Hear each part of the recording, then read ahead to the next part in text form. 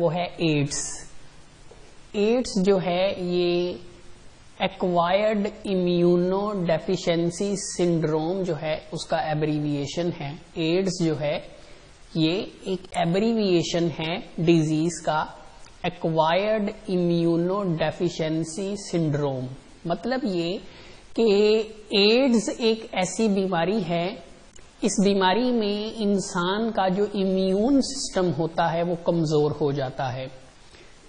तो immune system का कमज़ोर हो जाना जो है, उसे हम एड्स का नाम जो है, वो देते हैं। तो इस डिज़ीज़ के बारे में बैकग्राउंड जो है, वो जानने की कोशिश करेंगे कि एड्स जो है, इस बीमारी का आगाज़ जो है, वो कब हुआ, कैसे हुआ, ये बीमारी जो है वो किस वायरस की वजह से जो है वो होती है। तो ये सब चीज़ें जो हैं, वो इस टॉपिक में हम जानने की कोशिश करेंगे।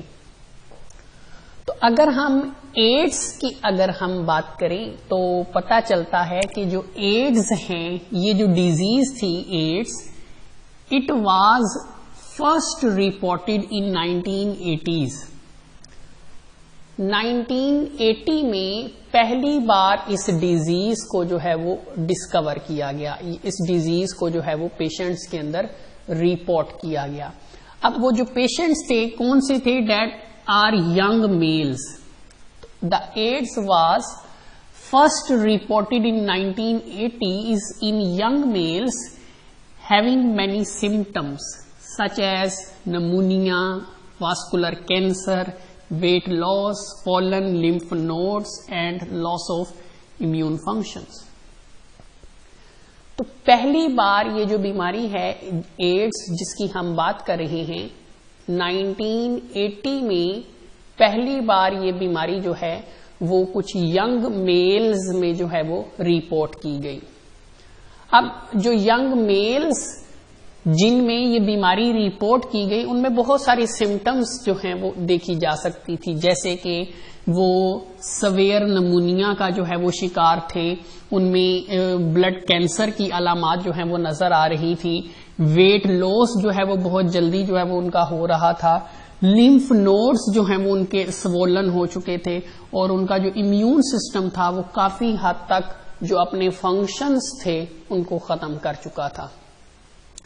तो 1980 में 1980 में तकरीबन तकरीबन 1980 में यंग मेल्स में पहली बार एड्स को जो है वो डिस्कवर किया गया।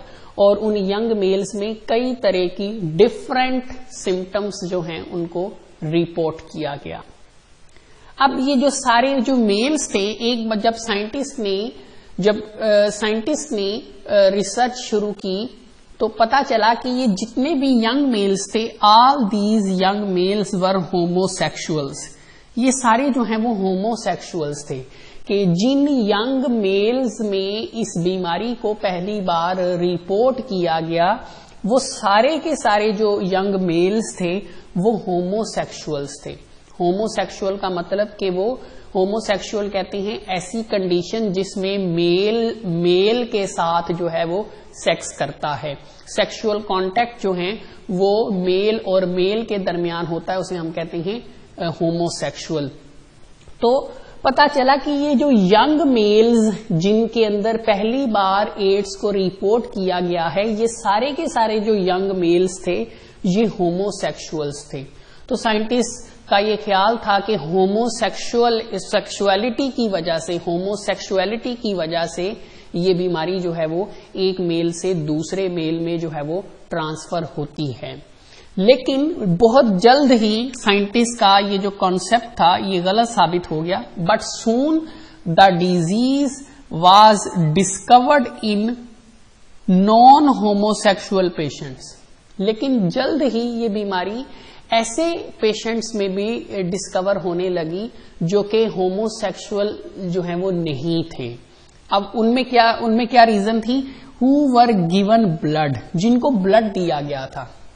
एबीओ ब्लड ग्रुप सिस्टम जो है वो हम पढ़ चुके हैं, जिसमें हम जानते हैं कि एक ब्लड जो है डोनर से एक ब्लड जो है रेसिपियंट को, किसी भी पेशेंट को एक शख्स से ब्लड निकालकर किसी भी दूसरे पेशेंट को जो है वो दिया जा सकता है। लेकिन उसके भी कुछ रूल्स एंड रेगुलेशंस होते हैं, लेकिन माजी में ऐसे रूल्स और रेगुलेशंस नहीं थे। नतीजतन एक शख्स से ब्लड निकालकर जब दूसरे शख्स को दिया गया तो उसमें भी ये बीमारी जो है वो पैदा हो गई। एग्जामिनेशन की गई रिसर्चेज हुई तो पता चला कि जिन लोगों का ब्लड दिया गया है, दरअसल उन लोगों के ब्लड में जो है एड्स वायरस एड्स का बायस बनने वाला जो वायरस था जो कि आगे हम पढ़ेंगे, वो वायरस जो है वो मौजूद था। लिहाजा जब वो वायरस कंटेनिंग ब्लड जो है वो एक शख्स से निकालकर दूसरे लोगों को दिया गया, पेशेंट्स को दिया गया तो उनमें भी एड्स की बीमारी जो है वो सामने आना शुरू होगी। तो बहुत जल्द ही ऐसे ये बीमारी जो थी नॉन होमोसेक्सुअल्स के अंदर भी डिस्कवर होना शुरू हुई। अब उसकी क्या वजह थी? पता चला कि उसकी वजह जो है वो रॉन्ग ब्लड ट्रांसफ्यूजन थी, कि जो ब्लड ट्रांसफ़र किया गया, उसमें उसको एग्जामिन नहीं किया गया और उसमें पता नहीं लगाया गया क्योंकि ब्लड ट्रांसफ़र करने से पहले ब्लड टेस्ट किया जाता है। जिसमें हर चीज़ को चेक किया जाता है। सिर्फ़ ब्लड ग्रुप को ही मैच नहीं किया जाता। इसके साथ साथ जो है ब्लड के अंदर मौजूद डिफरेंट वायरसेस डिफरेंट बैक्टीरिया जो हैं, उनको भी एग्जामिन किया जाता है कि आया के जो ब्लड ट्रांसफ़र किया जा रहा है, उसमें किसी किस्म का कोई वायरस या बैक्टीरिया जो है वो मौजूद ना हो। तो ये एक बैकग्राउंड जो है वो हिस्ट्री है इस वायरस से मुतलिक कि ये जो इस बीमारी से मुतलिक कि ये जो बीमारी है एड्स ये बीमारी पहली बार 1980s में यंग मेल्स के अंदर डिस्कवर की गई, जिनमें डिफरेंट सिम्टम्स जो हैं वो सामने आ रही थी। और ये सारे के सारे जो यंग मेल्स थे, ये होमोसेक्सुअल्स थे, लेकिन जल्द ही ये बीमारी नॉन होमोसेक्सुअल्स में भी जो है वो डिस्कवर होना शुरू हो गई। उसकी वजह उनको रॉन्ग ब्लड ट्रांसफ्यूजन जो है वो दी गई थी। थोड़ा सा आगे चलते हैं तो 1984 में चंद सालों बाद ही 1984 में इस बीमारी का बायस बनने वाला, हर बीमारी, हर डिज़ीज़ जो है वो किसी ना किसी पॉजिटिव एजेंट्स की वजह से होती है। हर बीमारी की कोई ना कोई वजह होती है। तो जब इस चीज़ का पता लगाया गया तो 1984 में the causative agent was identified by researchers of Pasteur Institute and National Institute of Health in USA तो 1984 में दो इंस्टीट्यूट यूएसए के एक इंस्टीट्यूट जिसका नाम नेशनल इंस्टीट्यूट ऑफ़ हेल्थ था और फ्रांस के एक इंस्टीट्यूट जिसका नाम था पास्चर इंस्टीट्यूट इन दो इंस्टीट्यूशंस ने मिलकर, यहाँ के साइंटिस्ट ने मिलकर जो है, वो इस बीमारी का बायस बनने वाला जो पॉजिटिव एजेंट था, उसको आइडेंटिफाई कर लिया। तो 1980s में इस डिज़ीज़ को रिपोर्ट किया गया और 1984 में इस डिज़ीज़ का बायस बनने वाला जो पॉजिटिव एजेंट था, उसको साइंटिस्ट ने जो है वो आइडेंटिफाइड कर दिया और वो जो पॉजिटिव एजेंट जिसको आइडेंटिफाई किया गया 1986 में उस पॉजिटिव एजेंट जो कि बेसिकली एक वायरस था, उसका नाम रखा गया एचआईवी वायरस कि ये बीमारी, इस बीमारी का बायस बनने वाला जो पॉजिटिव एजेंट जो कि दरअसल एक वायरस था 1986 में उस वायरस का नाम रखा गया HIV virus human immunodeficiency virus कैसा वायरस जो इंसान के इम्यून सिस्टम को कमज़ोर कर देता है, उसे हम ह्यूमन इम्यूनो डेफिशिएंसी वायरस का नाम जो है वो देते हैं। अब ये जो वायरस है, ये बीमारी का बायस जो है वो कैसे बनता है? दरअसल एचआईवी वायरस ये वायरस जब इंसानी बॉडी में दाखिल होता है ह्यूमन बॉडी में दाखिल होता है तो ये वायरस ह्यूमन बॉडी में दाखिल होकर खास किस्म के ह्यूमन सेल्स पर अटैक करता है and that are T lymphocytes T lymphocytes H virus ये एक ऐसा वायरस है जो इंसानी बॉडी में दाखिल होकर ये खास किस्म के सेल्स पर अटैक करता है, जिन्हें टी लिम्फोसाइट्स का नाम दिया जाता है। और टी लिम्फोसाइट्स ये बॉडी के वो सेल्स होते हैं जो इम्यून सिस्टम में बहुत अहम रोल प्ले करते हैं।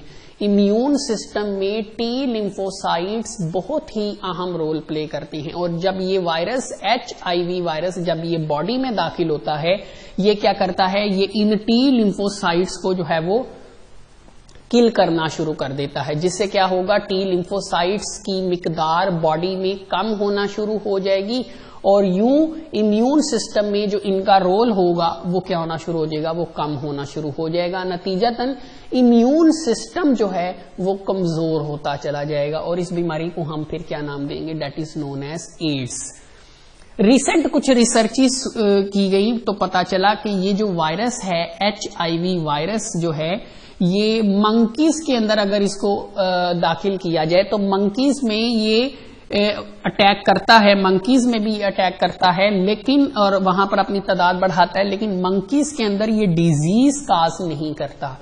इसका मतलब ये है कि एचआईवी वायरस जो है, ये होस्ट स्पेसिफिक है। होस्ट स्पेसिफिक है। ये सिर्फ़, ये जो वायरस है, ये सिर्फ़ खास होस्ट में ही बीमारी पैदा कर सकता है। ये हर होस्ट में बीमारी पैदा नहीं कर सकता। तो एचआईवी वायरस जो है, ये सिर्फ़ इंसान में ही जो है, वो बीमारी पैदा कर सकता है। इसके अलावा मंकीज या जो दूसरे एनिमल्स हैं, अगर ये वायरस उनकी बॉडी में दाखिल हो भी जाता है, वहाँ पे अपनी तादाद भी बढ़ाना शुरू कर देता है, लेकिन ये उनमें डिज़ीज़ कास नहीं कर सकता। तो इसका मतलब एच वायरस सिर्फ़ इंसान में ही बीमारी पैदा कर सकता है, इसीलिए ये बेसिकली एक होस्ट स्पेसिफिक जो है वो वायरस है। अब ये वायरस जो है वो एक शख्स से दूसरे शख्स में ट्रांसमिट कैसे होता है? तो ये वायरस जो है एचआईवी वायरस, ये दरअसल बहुत सारी चीज़ों के ज़रिए जो है वो ट्रांसफ़र हो सकता है from one person to another person during sexual contact जो है, वो मेल टू फीमेल या अगर फीमेल टू मेल जो है ये एंटर हो सकता है। रॉन्ग ब्लड ट्रांसफ्यूजन जो है, अगर ब्लड में, जैसा कि यहाँ पर नॉन होमोसेक्सुअल्स में पहली बार देखा गया था कि अगर किसी शख्स के ब्लड में ये वायरस है और वो ब्लड जो है वो किसी दूसरे शख्स को दिया जाता है तो वो भी इस बीमारी का जो है वो शिकार हो जाता है।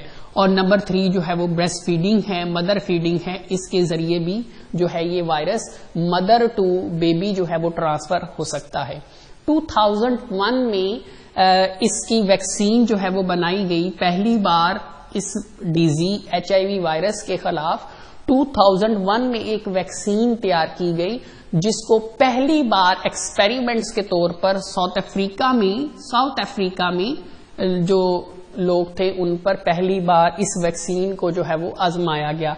लेकिन ये जो डिज़ीज़ थी ये जो वैक्सीन थी, ये इतनी ज़्यादा कारामद जो है वो साबित नहीं हो सकी। लिहाजा फ़िलहाल एचआईवी वायरस इस बीमारी के खिलाफ प्रॉपर वैक्सीन जो है वो अवेलेबल नहीं है। तो हमने बात की कि इस बीमारी का आगाज़ कब हुआ, इस बीमारी का पॉजिटिव एजेंट कब डिस्कवर हुआ, उसका नेम कब जो है वो डिसाइड किया गया। अब वो ये जो वायरस है, ये ट्रांसमिट कैसे होता है और इसके खिलाफ पहली बार वैक्सीनेशन के लिए एक्सपेरिमेंट कब जो है वो किया गया। थोड़ा सा इस बीमारी का बायस बनने वाला जो वायरस है, जिसे हम एचआईवी वायरस कहते हैं, इसका अगर हम बॉडी स्ट्रक्चर देखें, इस वायरस का तो इस वायरस के सेंटर में हमें डबल आरएनए जो है वो देखने को मिलता है, डबल आरएनए। तो एक आरएनए ये मौजूद है और एक आरएनए जो है वो ये मौजूद है।